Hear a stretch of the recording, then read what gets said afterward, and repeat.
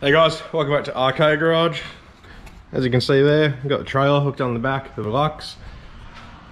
This has gone to fabrication today. It is the next day since the first start. So at first start, video day was meant to go there, but uh, told a couple of things. But anyway, intercooler, some of the intercooler piping stuff isn't there, but he's got enough to get started on uh, what he can with intercooler piping and, and on some of the um, exhaust. So that's what we're gonna do. Um, for now, I'm gonna get these rims off and get ones that don't stick out as much because that is pretty narrow and I don't really, I'm driving it on myself. I don't really wanna risk scratching them up. So I gotta get that done. Uh, I gotta take out this overflow bottle, which is under there, under there. That won't be too long. And then set up two GoPros, try to get it driven onto the trailer. Hopefully it doesn't bottom out or anything. And then yeah, so I'm gonna get cracking on with that and hopefully all goes well. So I'll come back to you guys when it's time to get it started again and drive it on. All right, hopefully you can see me. Yeah, it's time to try and get this started, drive it on the trailer. Hopefully I can get it up there. If not, I'll just have to winch it. So see how I go on my own.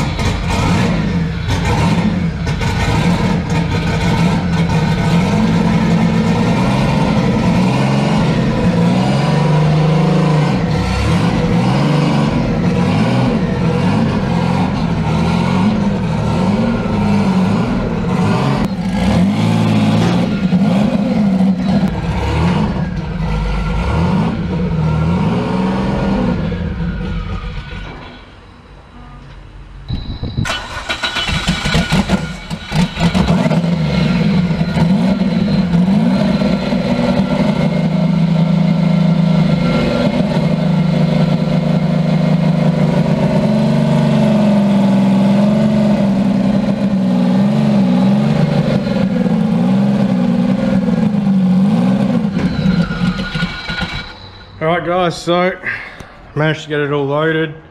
She's all out there. I'll probably take another video later as I'm about to go. I'm not sure if that's going to be the end of this video. I'm going to go edit now. So if you're watching this, then it is. But um, it's Friday. I fly back to work on Wednesday. So this will be only my second video out of four that I need to make. So I think my next one I'm going to do, I might start working on the bonnet scoop. Sussing that out. Might not be that interesting, but hey, you can either have that video or you can have nothing. So if you want nothing, then skip it. If you still want to watch something, then you got that video. I do have a couple things I can put on the Ford, so maybe I might do that. Not too sure just yet, see how we go. Like I said in my last video though, loving having this open again. The breeze that comes through here is so nice. Um, car was acting weird again. The first time I started it. She'd idle as it wanted to and then randomly just turned off. So uh, there's still something I got to adjust there but then after that it just would die straight away. So got some tuning things to sort out before I take it to Justin to tune it properly but hey I got it on the trailer. Hopefully I should be able to get it off into into Niche Welding's um, workshop. So we'll see how we go with that. I'm going to start to edit and get my time gone down till it's time to start driving an hour away. So that'll do for now.